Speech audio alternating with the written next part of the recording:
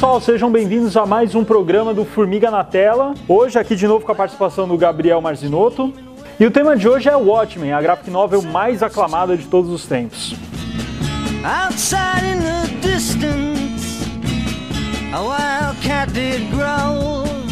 A graphic novel Watchmen foi escrita pelo Alan Moore e desenhada pelo Dave Gibbons e ela foi publicada a partir de setembro de 86 e tem na sua última edição publicada em outubro de 87. Bom, a série ela ganhou vários prêmios, ganhou o prêmio Kirby, o prêmio Eisner, ganhou o prêmio Hugo de ficção científica e foi... e foi o primeiro quadrinho, até hoje é o primeiro quadrinho a, a conseguir tal honraria, né? Não só isso, é, foi também a única história em quadrinhos a constar na, na lista de 100 melhores romances de língua inglesa da, da revista Time. É, e assim, romances, né? Não quadrinhos, isso. né? Isso é um grande feito.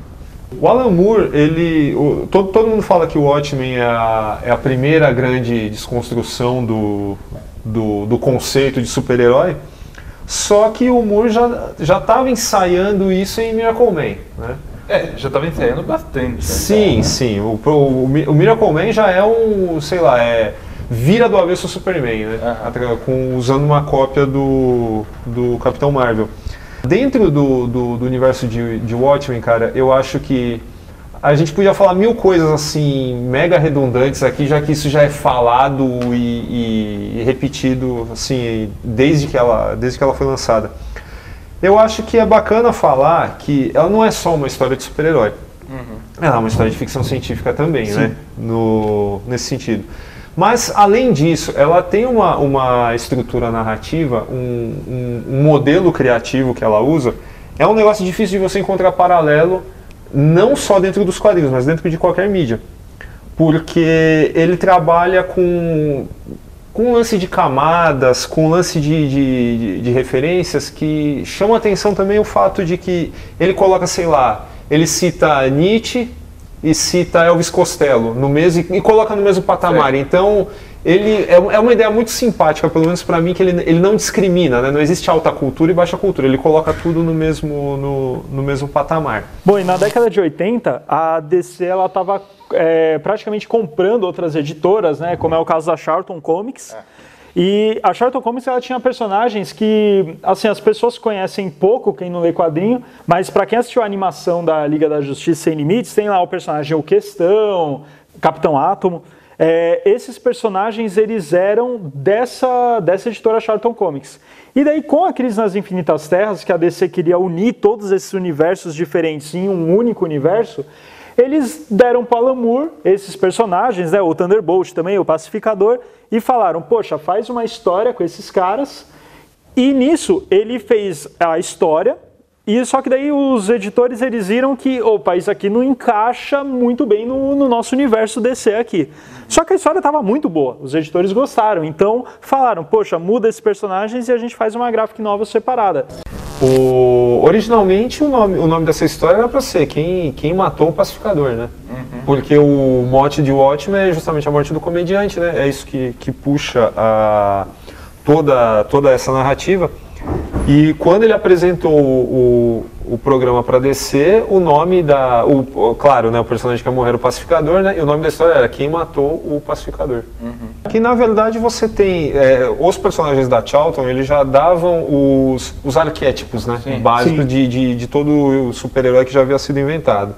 Então, é, é, claro, né, na hora que ele adapta, ele traz muito, vai, vai lembrar muito os, os, os, mais famosos, né? É, eu acho que uh, uh, o lance é que, tipo, quando ele passou pro outro, eu acho que ele teve até, por exemplo, o Besouro ter, vira, uh, ter virado o, o, o, Coruja Noturno, né? O Coruja, uhum.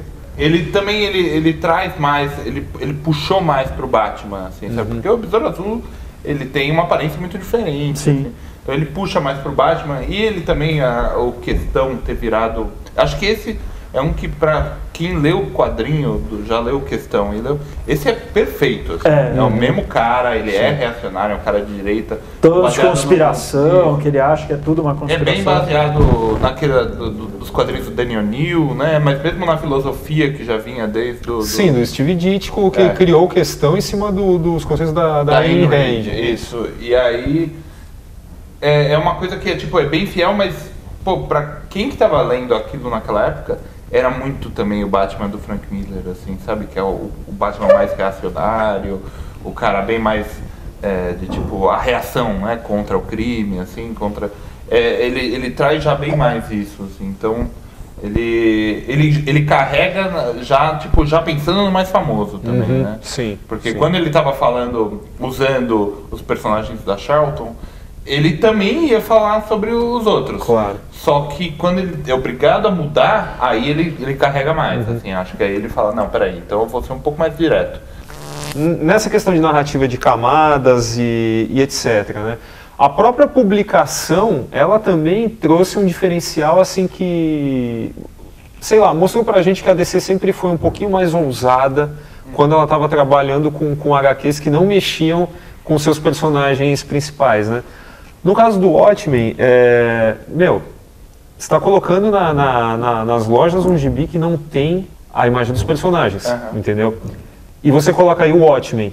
Não existe um cara chamado É. o Watchmen na história. Mais ainda, o, o que, que significa o Watchmen? Não é simplesmente vigilante. Você tem aí o Watch por causa da questão do relógio também. É, tem os homens minuto. Exatamente. Então, a, a- própria questão de camadas também está dentro do, do, do, do título. E aí você tem um gibi que é, que é fechado, ele não tem sessão de cartas, ele não tem publicidade, ele não tem nada. Então você imagina você chegar para o editor e falar, ó, tem um gibi aqui que não vai... Eu, eu tenho todo o projeto gráfico da coisa, eu não tenho só o roteiro. Eu tenho um cara que vai fazer isso, ele vai desenhar as capas, e as capas não vão mostrar os personagens. Mais importante, cada capa vai ser um zoom extremo de uma cena de É. dentro do, do, E é o primeiro quadrinho. Quando você pega a capa e você vê imediatamente o primeiro quadrinho dentro da revista, a capa seria o primeiro quadro. O Watchmen, eu acho que ele é um daqueles quadrinhos que o, o Alan Moore começou a, a fazer, que ele começou a pensar muito em estrutura, assim, né?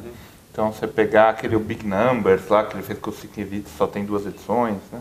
Ou o, o, o From Hell, ele, ele já começa a fazer, sabe, tipo, tem esse nível de leitura, que é uma estrutura que aí ela, ele sempre fala que tem um pouco de fractal aí? É. que aí você vê tem uma estrutura dentro dela que é o, o- o- é a narrativa tal, aí tem o cargueiro negro, aí você vai vendo, isso chega até a capa, chega a tudo. assim. É, quando você olha as edições em separado, bom, primeiro a história toda, ela começa com o Smile, né? O primeiro quadro é o Smile com sangue. Sim, E o o último, último. quadro é o Smile da camiseta do cara lá da, do jornal com um negócio de ketchup.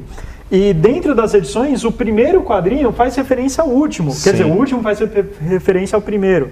E ele leva isso ao extremo na, na história Terrível Simetria.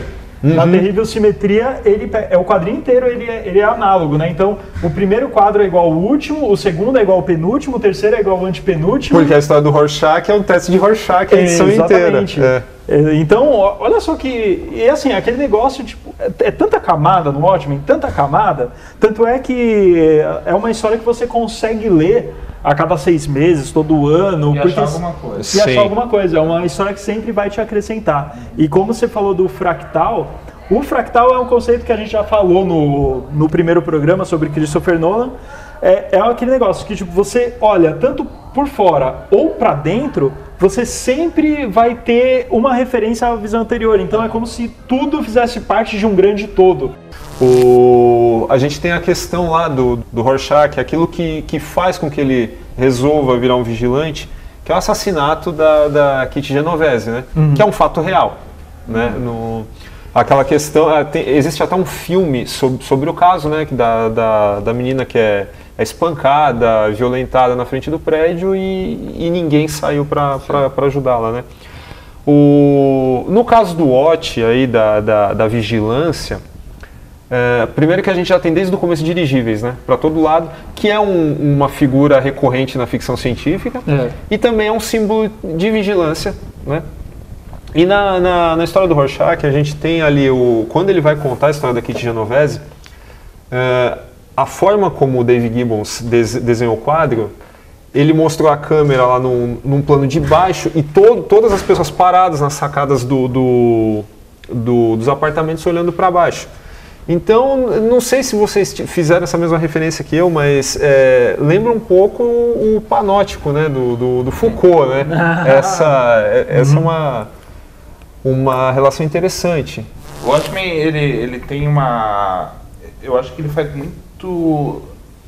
Ele, ele dá um salto muito grande, mas era já numa época de muito. Da, do, do quadrinho já está se repensando, né? Então, você estava vindo da. Quadrinhos, a gente define essas. Até é, essa época do Watchmen, do Cavaleiro das Trevas, você tinha era de Ouro, né? Que eram os quadrinhos uhum. até 50 e poucos, é, que eram os quadrinhos bem mais românticos.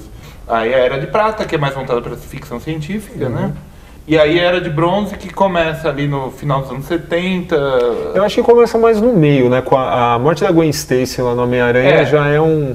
É, é bem, é bem essa. Os anos 70 ele começa a evoluir Sim. porque ela, ela, não, ela tem o marco da, da morte da Gwen Stacy mas se você pegar os quadrinhos, já estavam meio que evoluindo para isso, uhum. né?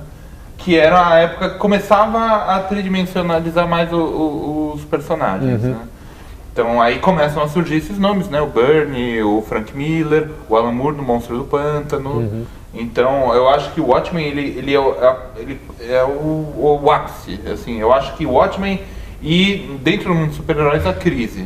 O Watchmen ele tem um negócio de ele, ele faz essa rima com a crise com os dois têm objetivos muito diferentes, né? Então você vê o, a crise ela tentava deixar o, o, o super-herói o conceito mais sério, não é mais aquela fantasia abilolada assim.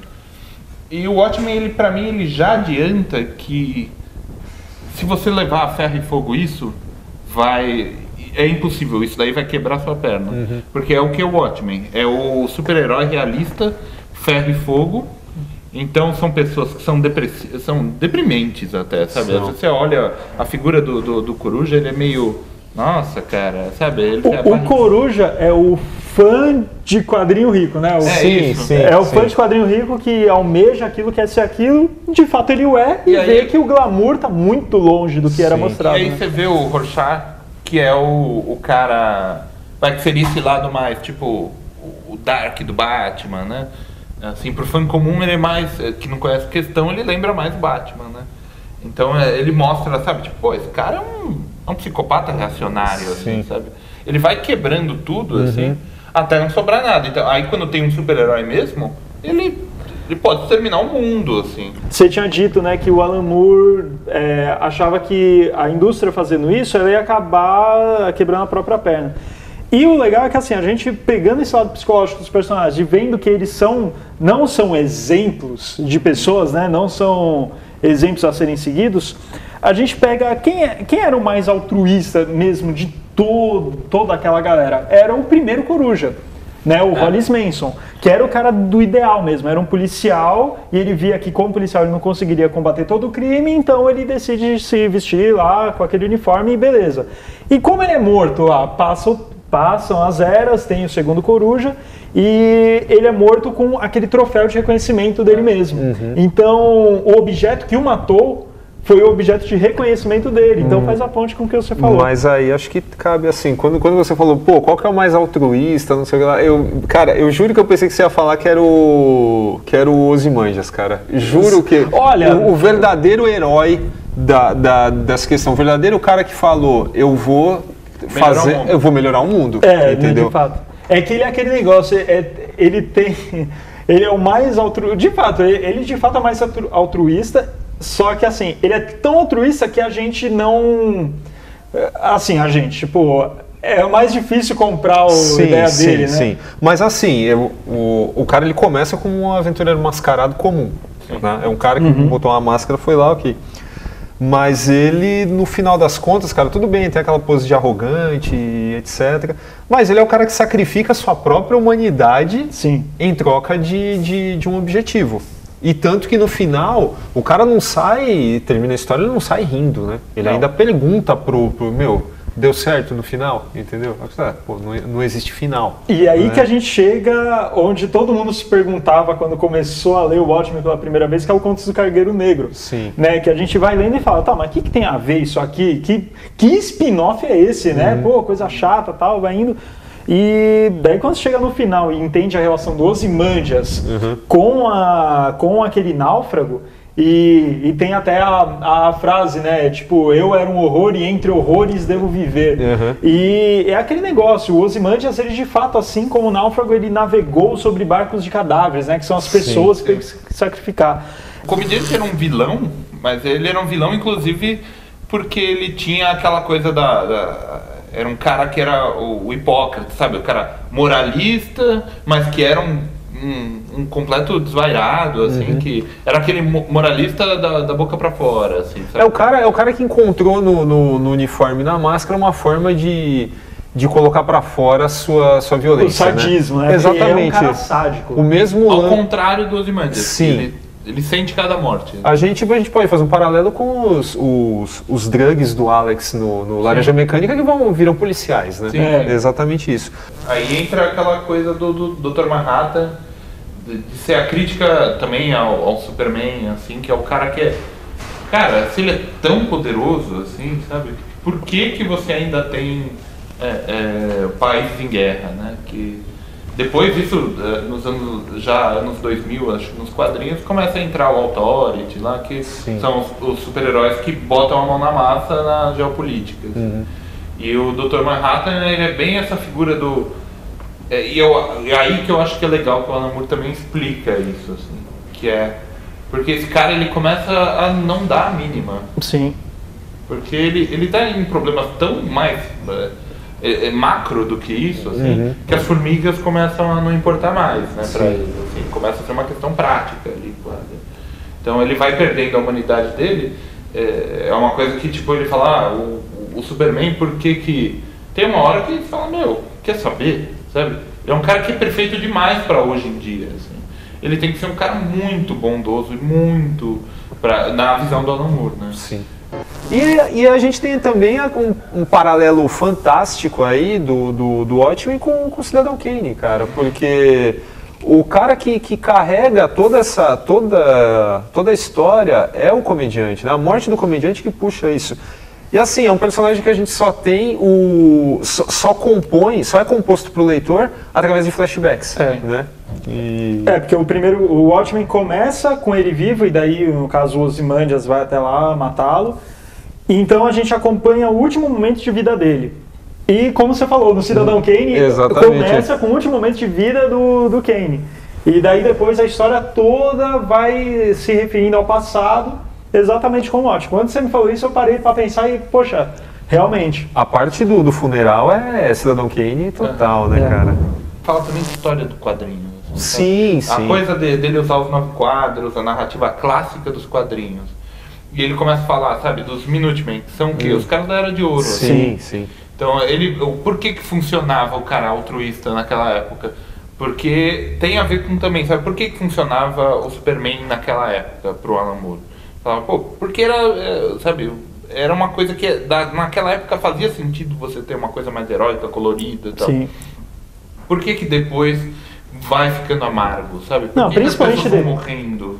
Principalmente depois da, da guerra do Vietnã, meu, você começa a ter uma mudança na figura do herói. Você não tem mais o herói. Aí entra o anti-herói, né? É, Não, não tinha mais como ninguém mais comprava a ideia do, do grande herói altruísta, romântico. Não, nunca É, não mais. daquela forma, assim, sabe? Sim. Então eu acho que, tipo, o que ele traz é isso, assim, ele traz é, é, uma, um, é, é tipo como se fosse um banho de cinismo e maturidade, Sim, assim. sim. O Alan Moore, ele tinha o plano de, de Watchmen ser o, o assassinato do gênero de super-heróis, né? Porque ele, ele tinha um problema, principalmente porque os super-heróis nos quadrinhos tinham matado os outros gêneros. É, os quadrinhos de pirata, É. tem, ele coloca dentro, mas é porque ele, quadrinho de pirata, quadrinho de terror, quadrinho, isso tudo de aventura, de detetive, tudo isso foi morrendo porque os super-heróis se tornaram tão grandes, nas, é, era de prata principalmente, Sim. né? Que acabou assassinando os outros gêneros, assim, não por, por, vontade, assim, Sim, mas mas aconteceu. e aí, quando esse gênero começou a ser meio que na cabeça dele, assim, um morto-vivo, assim, é, isso se tornou muito prejudicial à indústria dos quadrinhos. Assim. Então, o que ele faz é, é tentar matar um gênero, assim. É, ele, ele já declarou algumas vezes sabe? Tipo, que o Watchmen era uma tentativa de dar um baque nesse gênero para esse gênero, para as pessoas, sabe? Tipo, não, isso é, é meio ridículo hoje em dia. Uhum. Então vamos, vamos, vamos tentar fazer outras coisas, né? Que foi o que ele foi fazer. Sim. Uma coisa que também chama a atenção é que a gente fala, a gente falou de várias referências, né? E falou do Cidadão Kane, mas acho que também, com tudo, assim, até aproveitando o, o fato de Watchmen estar na lista da Time, né, de Uhum. melhores romances de língua inglesa, o, ele tem um pouco da tradição do, do, do romance a la Hammett, Chandler, né? Porque ele é uma história de detetives também, Sim, né?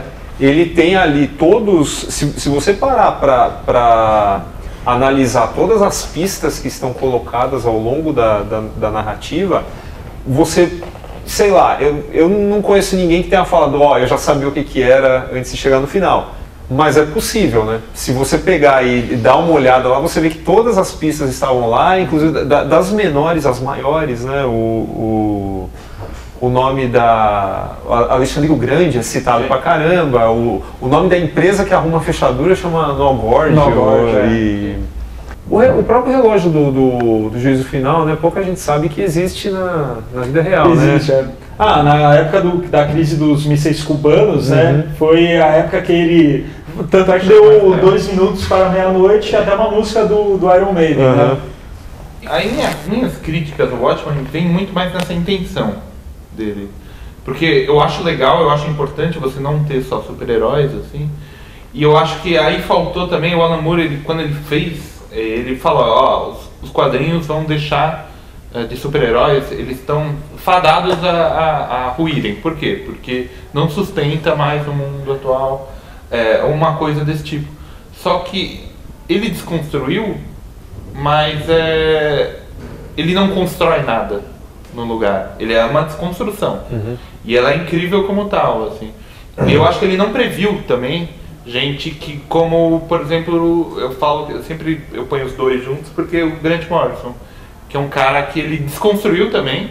Ele participou de toda aquela época quando eles foram na Inglaterra para pescar o Neil Gaiman, o Peter Milligan e o Grant Morrison, é, que já era tipo, olha, esse inglês aqui tá mandando muito, vamos pegar uns outros. Assim. Ele, todos eles foram para desconstruir, só que eu acho que essa segunda leva ela tem muito mais também a desconstrução e a construção.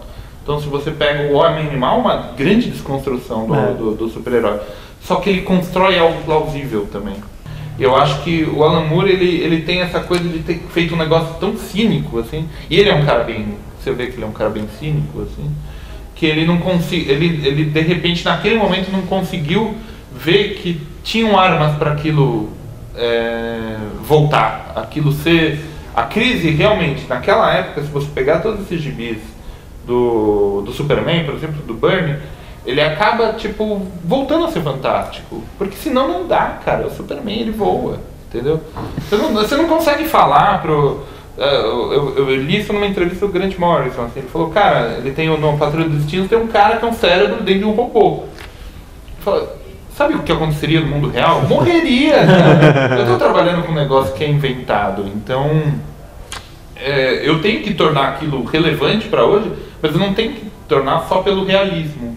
Eu posso tornar relevante pelos temas, eu posso tornar relevante por outras coisas. Então eu acho que minha crítica vem muito mais desse cinismo exagerado. Eu entendo ele e eu, eu concordo com ele em grande parte, assim. Só que eu acho que é, faltou ele uma certa. Às vezes falta um pouco de humildade pro, pro Alan Moore, assim.